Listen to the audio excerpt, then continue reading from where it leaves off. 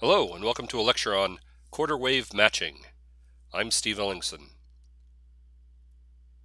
Here's an overview of this lecture. First, I'll explain a little bit about quarter wave transmission lines. These are transmission lines which are one quarter wavelength long at the frequency of interest. I'll explain how to use these structures for impedance matching. I'll show you an example and then we'll discuss the topic of impedance inversion, which is a feature of quarter wave transmission lines.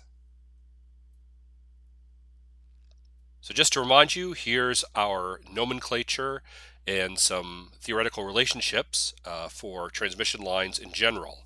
When we have a length L transmission line and the characteristic impedance of that transmission line is Z sub C and it's terminated into a load Z sub L, we find that the input impedance is given by this expression, where lambda is the wavelength in the transmission line, and gamma is the reflection coefficient at this point. So gamma is given by z sub L minus z sub C, z sub L plus z sub C. Quarter wave matching uses quarter wavelength sections of transmission line. So the length of the transmission line will be lambda by 4. And so using our expression and substituting lambda by 4, we find that the input impedance is given by z sub c squared divided by z sub l. So this relatively complicated looking expression becomes a very simple expression which depends only on z sub l and z sub c. Now to match, you just use a quarter wavelength transmission line and use the characteristic impedance to achieve the matching. The characteristic impedance is obtained from this expression. You simply solve for the characteristic impedance.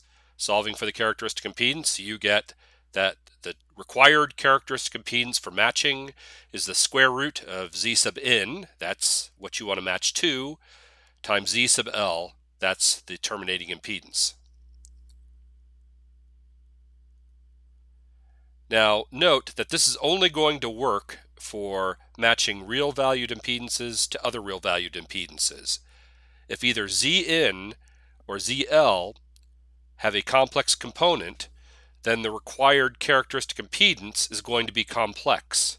A transmission line with a complex valued characteristic impedance is going to be one which stores energy, and that's the opposite of what you want from a transmission line.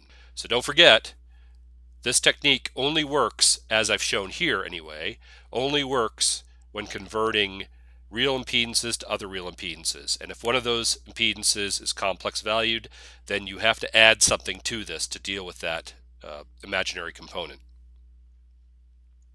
So here's an example.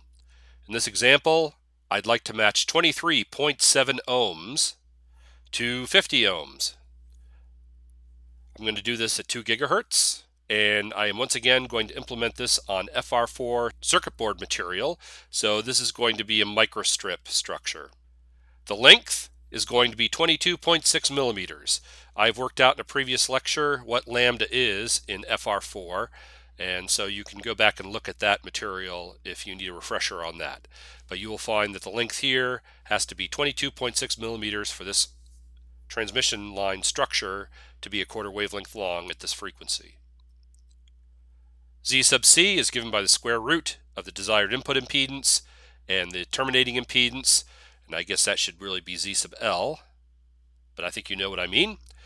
Uh, the square root of the product of those two things is 34.4 ohms. So that's the characteristic impedance of the transmission line.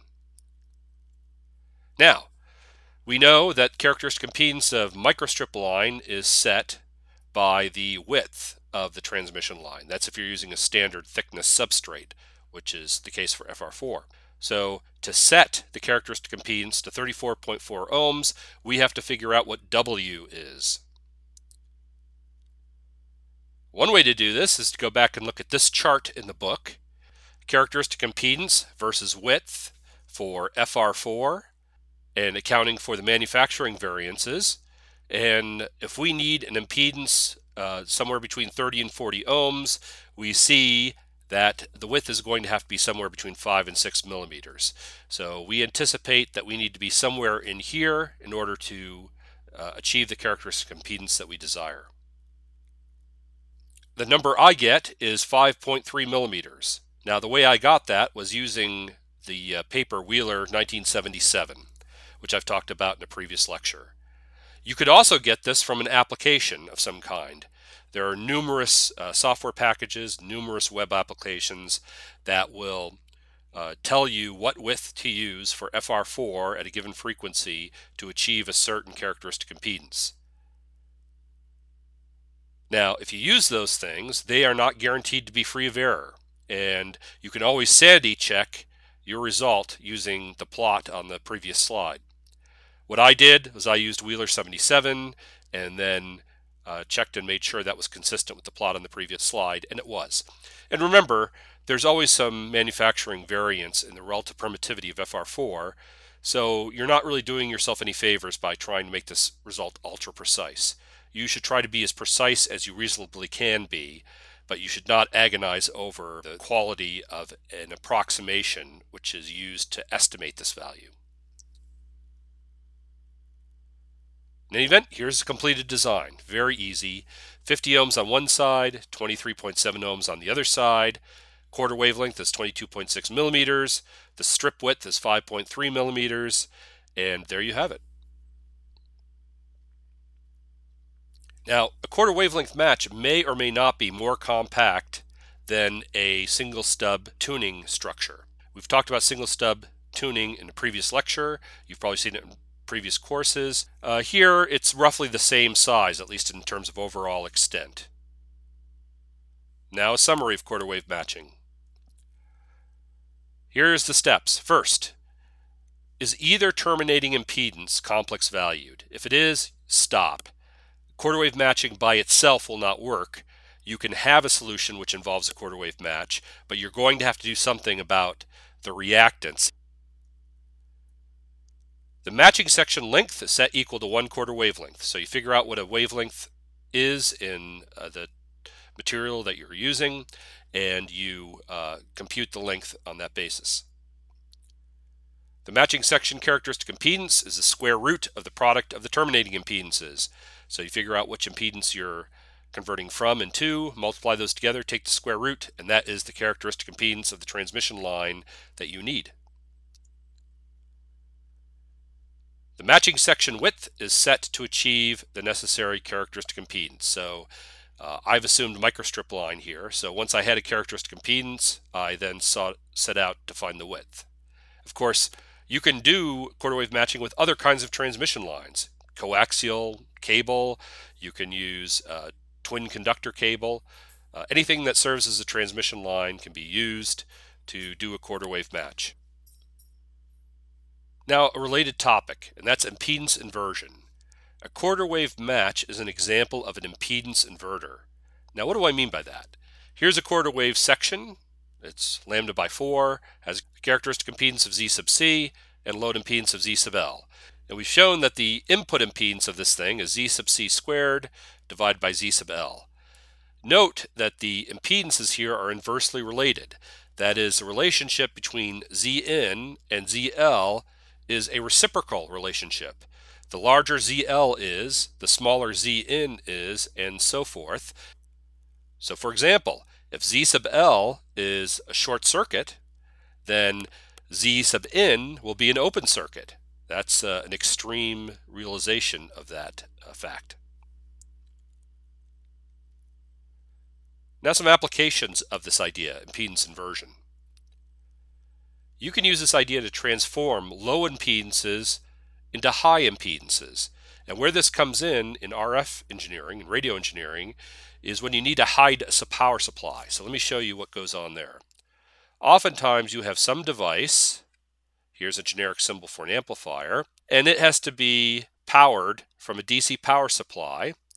And the only way you can get the power supply into the device is through the output. It turns out that power supplies tend to have relatively low impedance inputs. So this power supply will load the output of that amplifier if you just directly connect it. However, if you directly connect it through a quarter wave section, then what happens is that quarter wave section transforms the low impedance of the power supply into a high impedance. And as long as the impedance looking this way is less, then the power supply will be effectively hidden. So this is one technique for hiding power supplies even when they have to be directly connected to RF signal lines. Shows up all the time, especially in amplifiers at UHF and above. Another application is to replace inductors, which are particularly nasty at SHF and above, with capacitors. So one thing you can do is you can have, uh, if you need an inductance, what you can do instead is take that inductor and run it through a quarter wave line. And now this thing looks like a capacitor. A third application is you can combine quarter wave matches with stub matching and other quarter wave sections to make filters. Filters are devices which modify frequency response, not necessarily transforming the impedance. That will be the topic of a future lecture in a future chapter. By the way, this circuit here is also an impedance inverter. I'm showing you this just to connect this all back to uh, discrete reactance concepts. If I have a load Z sub L out here and I connect it through this particular topology with inductors uh, on top and a capacitor in the center, and all these reactances are the same, in other words, the only thing that's different is the sign, the thing that makes them either capacitors or inductors. Then I find that Z in here is x squared, the value of that reactance, divided by Z sub L. So this thing here works just like a quarter wavelength section of transmission line. And you can verify this yourself easily. Simply realize that this is Z sub L looking this way. This is Z sub L plus JX looking this way. There's a parallel combination here, another series addition here, and you should find that Zn equals this. One reason I mention this is because this lumped form of an impedance inverter does not suffer from the limitation that the terminating impedances have to be real valued. So here you can have a complex value, and here you'll have the reciprocal of the complex value times x squared. This concludes this lecture on quarter wave matching.